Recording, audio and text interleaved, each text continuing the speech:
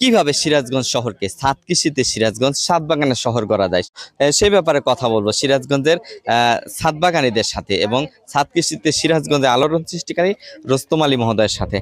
গাছ, আসলে গাছ গড়ে তোলা বা যত্ন নিয়ে ভালো করে বাগান করা এটা একটা নিজস্ব অনুভূতি থেকে তৈরি হয়। বাগান করা তো এমনিতেই সবাই খুব পছন্দ করে। তারপরেও বাগান করব বা গাছ ছোট গাছ থেকে বড় করে আমরা এটা অনেক বড় করব যত্ন সহকারে। এটা তো অনেক ভালো একটা ব্যাপার। আমরা সবাই আমাদের রুস্তম আলী স্যারের গ্রুপের সদস্য এবং রুস্তম আলী স্যার আমাদের যে সহযোগিতা করেছেন, আশা করি সকল সদস্য যদি এই সহযোগিতার দিকটা ধরে রাখে গাছ এবং সাত বাগানি যারা আছে তারা যত্ন করেন এবং একে অপরে এই গ্রুপে শেয়ারিং থাকে, তাহলে ইনশাল্লাহ আমরা এই সাত বাগান সাত কৃষিকে বাঁচিয়ে রাখতে পারব। অ্যাকচুয়ালি হচ্ছে ছাদ বাগান সম্পর্কে আগে আমার অনেক ধারণা ছিল না, ইচ্ছে ছিল না, কিন্তু আমার ফ্রেন্ডের মাধ্যমে আমি মানে এখানে জয়েন হয়েছি, তারপর থেকে আমার ইচ্ছা, আগ্রহ বেড়ে গেছে। তারপর থেকে মানে ইভেন্টে আমি এটা হচ্ছে দ্বিতীয়বার। খুব- খুবই সুন্দরময় করার ইচ্ছা যাতে সিরাজগঞ্জ শহরটা আরোগ্যময় হয়, প্রকৃতিতে যেন সুন্দর, ছায়া সুন্দর হয়ে যায়। তো মানে মিডিয়াটা ভালো করে বানাইতে পারলে আর কি, মনে করেন ছাদে কাজ করা খুব একটা সমস্যাজনক না। আর নিয়মিত সার টার দিতে দেওয়া জানলে গাছগুলা ভালোই যত্নে রাখা যায় আর কি। আর গাছের প্রতি প্রেম আমার মনে হয় এটা সবার থাকা উচিত। আর আমি যেহেতু গাছ লাগাচ্ছি, আমি চাইব আমার আশেপাশে যে আছে তাদেরকে বলব যে গাছ সম্পর্কে গাছ কতটা উপকারী বা গাছ আমাদের জীবনের জন্য অনেক উপকারী। তো আমি চাইব যে আমার সাথে সাথে যারা আশেপাশে আছে তাদেরও গাছ লাগানো উচিত। এটা এমন একটা জিনিস যে এখন ফল না পেলেও আশিরাতে এটা ফল পাবে। এখানে সিরাজগঞ্জ শহরকে সাতবাগানের শহর করে গড়ে তোলার জন্য প্রত্যেকের একান্ত ব্যক্তিগত উদ্যোগ দরকার। আমি যদি নিজে থেকে আমার আমার ছাদ নেই, আমার মাটি আছে, আমি গ্রামের মানুষ, তো গ্রামে আমি বাগান করে গড়ে তুলতে চেয়েছি। আর যাদের ছাদ আছে, ওনারা ব্যক্তিগতভাবে যদি নিজেরা প্রচেষ্টা করে, তাহলে ছাদ বাগান গড়ে তুলতে পারে। আমার পরামর্শ, সবার একটু সদিচ্ছা দরকার যে আমাদের পরিবেশ, বিশুদ্ধ অক্সিজেন পাওয়ার জন্য। এখন শহরটা তো পুরোপুরি এখন ইট পাথরের দেওয়াল হয়ে গেছে।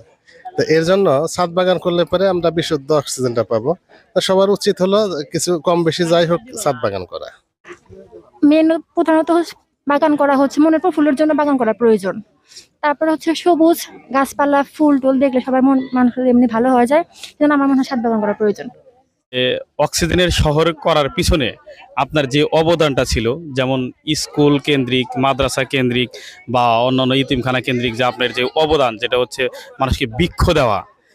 সেই বিষয়টা কিন্তু আমরা পরবর্তীতে রোস্তম আলী স্যারের মাধ্যমে আপনারই সেই চিত্রটা কিন্তু তার মধ্যে কিন্তু আমরা পরবর্তীতে পেলাম যে এই যে মানুষকে ফ্রি দেওয়া। ফ্রি দেওয়া কথাটা কিন্তু আমরা প্রথমত এই আপনির আবুল হোসেন গ্রিন বাইয়ের মাধ্যমে কিন্তু জানতে পারি যে স্কুলে গাছ ফিরে দিতে হবে, মানুষকে একটা গাছ গেড়ে উদ্বুদ্ধ করতে হবে, একজন শিশুকে বুঝাইতে হবে, তুমি বাবা এই গাছটা গাইরো সুন্দর গেড়ে থেকে ফল আসবে। এই যে একটা বোঝানোর দিক, যেহেতু রোস্তম আলী ছাড় চলে যাচ্ছে, আমরা আগামীতে যেন আরেকজন রোস্তম আলীকে পাই, তাতে সিরাজগঞ্জ সাত বাগানি থেকে শুরু করে বৃক্ষর কোনো কমতি থাকবে না। খুবই ভালো জিনিস, আমি আমার মা ছাদ বাগান করে তার জন্যই আমি এই সব জিনিস নিয়ে যাচ্ছি গিফট হিসেবে। আমার অনেক বন্ধু আছে তারা করে কিন্তু সবার করা উচিত। কিন্তু অনেকেই করে না। কিন্তু আমি করি আমার মায়ের সাথে। আসলে আমাদের সিরাজগঞ্জ জেলায় কোনো কৃষি অফিসে কিন্তু এরকম ছাদ বাগান নাই। আমার স্যার হচ্ছে এই প্রথম সিরাজগঞ্জে এরকম কৃষি অফিসে ছাদ বাগান করে মানুষের এরকম গাছ বেশিরভাগ ছাত্রদের, যেগুলো ছাত্ররা এই কলেজে পড়ে স্কুলে পড়ে, ওরা কিন্তু অনেক এই এই গাছ প্রতি খুবই আগ্রহ। তাদের কিন্তু দেখা যায় একটা বিশ টাকা দামের চারা হলেও অনেক খুশি হয়। সেজন্য আমার স্যার অনেক ছাদ আছে, অনেক স্কুল কলেজের মেয়েরা আছে, তাদের এই জন্যই এই কাজটা স্যার ই করছে, ছাদ বাগানের ই করছে।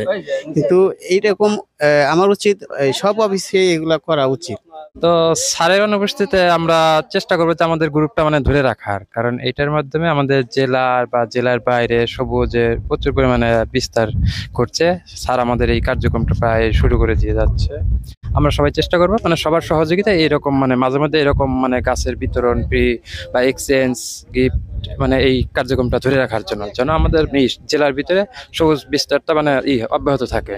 সিরাজগঞ্জ সদর কৃষি অফিসের ছাদ বাগানটা পড়ে থাকে, তো অনেকে ছাদ বাগানে যেহেতু শহর এলাকা হওয়ার কারণে আসে, তো ক্ষুদ্র ক্ষুদ্র করে ছাদ বাগান কীভাবে করবেন তা দেখা, চাক্ষুষ দেখানোর জন্য আসলে এই কাজটা করা। আস্তে আস্তে আসলে এই বিষয়টা দেখা গেল যে ছাদের বাড়তি চারা কি করা যায় সেই হিসাবে আসলে গ্রুপ খোলা, গ্রুপের মাধ্যমে মানুষকে বিতরণ করা। দীর্ঘ সময় বিভিন্নভাবে, এককভাবে বিতরণ করার পরে আসলে প্রায় দু হাজার উনিশ সালে কৃষি মেলায় আমরা বিশাল আকারে মানুষকে, প্রায় দুই তিনশো মানুষ হবে, তাদেরকে আমরা বিতরণ করি। এরপর অর্গানাইজ ওয়েতে গত একুশ সাল থেকে আমরা মানুষের মাঝে চারা বিতরণ করি। বিভিন্ন সময় আসলে একত্রিত করে ইভেন্ট করে আমরা দিই। তো আমার ধারণা আর কি, যতটুকু বিভিন্ন সময় তালিকা করা আছে, সব মিলে দুই হাজার মানুষকে আমরা চারা দিয়েছি সাত কেজি সিরাজগঞ্জ গ্রুপের মাধ্যমে এবং ইভেন্ট করে। তা আজকের যে ইভেন্টটা আজকের ইভেন্ট আসলে শেষ ইভেন্ট কারণ এখানে আমি দীর্ঘদিন চাকরি করেছি, খুব অল্প সময়ের মধ্যে যেহেতু আমি বদলি হয়ে যাব। তো ভাবলাম যে শেষ ইভেন্টটা করব এবং এরপরে আসলে আমার নিজস্ব কিছু কাজ আছে, যার কারণে আসলে ইভেন্ট করা আর সম্ভব হবে না। এই ইভেন্টে সর্বোচ্চ চেষ্টা করেছি যে আড়াইশো, তিনশো চেয়ে আসুক, তো একটা ভালো একটা গ্যাদারিং করব। তো যাই হোক, সব মিলে একশো আশি জন, এখন আরও কিছু যুক্ত হয়েছে। দুইশো জনের মতো ছাদ বাগানে আজকে চারা নিচ্ছেন। এবং এখানে প্রায় দুইশোর উপরে প্রজাতি আছে এবং পাশাপাশি আট হাজারের উপরে চারা কাটিং এরকম আসলে ট্রেতে সাজানো আছে। তা আশা করতেছি যে আজকের যারা আসছেন, তাদের সাধ্যমতো তারা আসলে চারা নিয়ে যেতে পারবেন। এবং আমি আশা করব যে সিরাজগঞ্জ সাদ কৃষিতে সিরাজগঞ্জ আসলে সবুজায়ন করার যে কাজটা আমরা, আমি চালু করে গেছি। এই বিষয়টা যদি সিরাজগঞ্জের আমার গ্রুপের মাধ্যমে কাউ উদ্যোগ নেয়, ভবিষ্যতে যদি পাঁচ, ছয় মাস, চার মাস পরে যদি একটা করে ইভেন্ট করে ফ্রিতে চারা বিতরণের আসলে সম্ভব হবে। এবং আমি উদ্যোক্তা আছেন, আজকে আসছেন, সেই উদ্যোক্তাদেরকে আমি কিন্তু সাধুবাদ জানাই।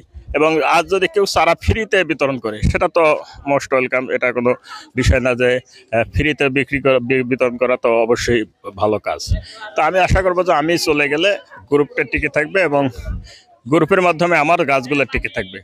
পাশাপাশি সিরাজগঞ্জ সবুজায়নে কাজ করবে।